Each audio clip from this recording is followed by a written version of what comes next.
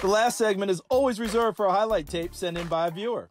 This is Wilbert Kelley. He's a junior at Southern Lab in Baton Rouge, Louisiana. He stands 5 feet 10 inches and weighs 220 pounds. He was an all district offensive lineman in 2020, but he's also very impressive as a pass rusher on defense.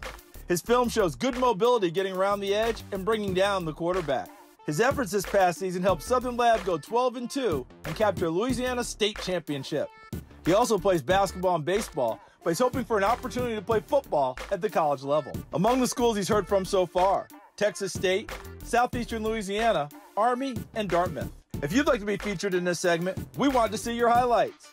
Go to sportsstarsoftomorrow.com, click on contact, and fill out the form to tell us why you should be on the show. Thanks for visiting the Sports Stars of Tomorrow YouTube channel. Be sure to give this video a like and subscribe for more content.